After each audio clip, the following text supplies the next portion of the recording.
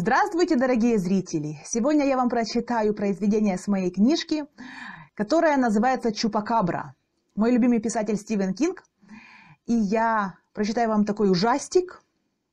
Я очень не люблю, когда обижают животных. И бываю даже очень категоричная с теми, кто их обижает. Мне не жалко людей, которые обижают животных. И поэтому вот такое произведение – с помощью этой книжки можно гадать. Выберите цифру от 8 до 50, напишите в комментариях. Я открою книжку на странице, номер которой вы выбрали. Прочитаю произведение и создам вам видео пророчество. Опубликую на своем канале. Оно будет как раз вам предсказывать будущее. Дальше я хочу продолжить с вами знакомство, и поэтому напишите в комментариях, сколько вам лет. Серый, слышал прикол? Бабульки говорят, завелась в нашей деревне чупакабра.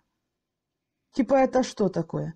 Ну, монстр такой, большой, на собаку похож, только с крыльями. Там кур ест, кроликов. Говорят, он и человека может загрызть.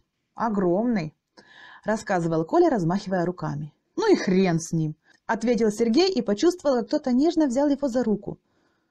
Парень обернулся, но никого не было.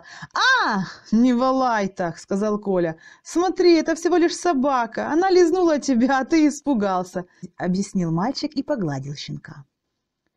Сергей замахнулся и бросил малыша ногой так, что он несколько раз перевернулся с громким воем, а потом затих. «Что ты сделал, дебил?» — кричал Коля. Сергей остановился. Глаза собаки смотрели на парня. «Колян, шухер!» Пришел в себя Сергей. Добежали к середине деревни. «Что ты с псом делал? А что, прикольно было, чтоб знал! Я ударил его, потому что он маленький, мне его не жалко!» Той ночью Коля спал плохо. Слышал волчий вой и крик соседа. А утром бабульки говорили, что приходила чупакабра, съела мальчика. И только один Коля знал, почему Сергей исчез. А как вы думаете, почему Сергей исчез? Конечно, потому что его съела Чупакабра, потому что он издевался над щенком. Если вам нравятся мои произведения, подписывайтесь на канал, нажимайте на звоночек и напишите. Вы тоже не любите, когда обижают животных. До новых встреч!